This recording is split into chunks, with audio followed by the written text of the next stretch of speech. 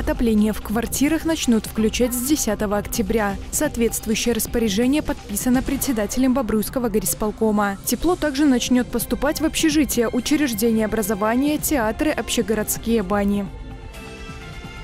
В Бобруйске прошел конкурс на лучшего руководителя по военно-патриотическому воспитанию. Из 25 заявок было определено 8 финалистов, которые боролись за проход в следующий этап. Участники проявили себя в трех испытаниях – творческое самопредставление, анкетирование, решение педагогических задач. По завершении жюри определило двух кандидатов, которые прошли в следующий этап. Ими стали представители второй гимназии и шестой школы.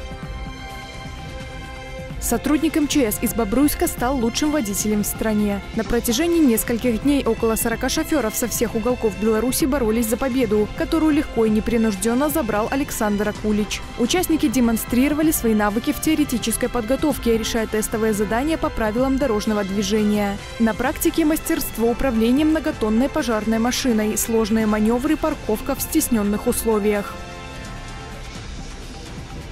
12 октября в Бобруйске пройдет акция «Вместе для зеленой Беларуси» по посадке зеленого массива в парке семейных деревьев, а также по улице Ленина напротив ТЭЦ-1. Каждый неравнодушный может подключиться к инициативе по наведению порядка на земле и ее благоустройству, приуроченной году качества. Начало в 9 часов.